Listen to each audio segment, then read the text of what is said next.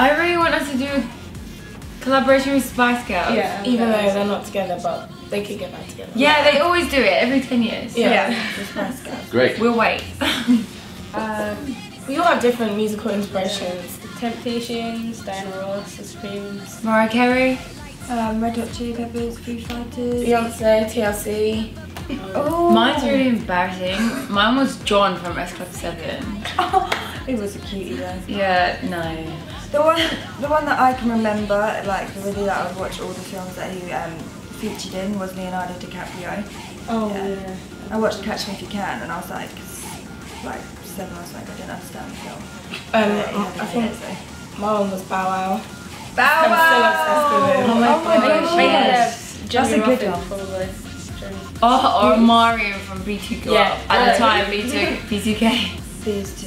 me and Amira will argue until we're blue in the face. I think what? me, she thinks her. Because Shereen and I are pretty lazy. yeah, But don't get me two- wrong, they can. I They won't poison us, but These ruffle up some that. good dishes. I don't know, Right. the only reason why I say Amira is because I've never tasted any of your cooking, so. I just know you can cook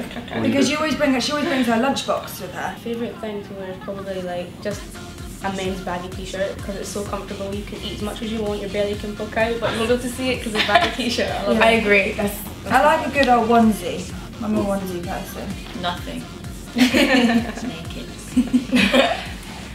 Our, I don't know. what we call, it? we call it's like we call um our fans Ohana because it's almost like I don't feel comfortable saying fans and Ohana obviously means family Yeah. and they are like family to us and I like that. I like that we have that relationship with um, our fans and you know they're they're from all over the world and I don't know I just like the diversity of them all and I their think that dedication. they're always there for you, like Yeah. always like whatever it is, and at least like they'll message you in the morning and say like hope you have a good day or, or hope you've had a good day, and just always there for you. and they work together as well. Yeah.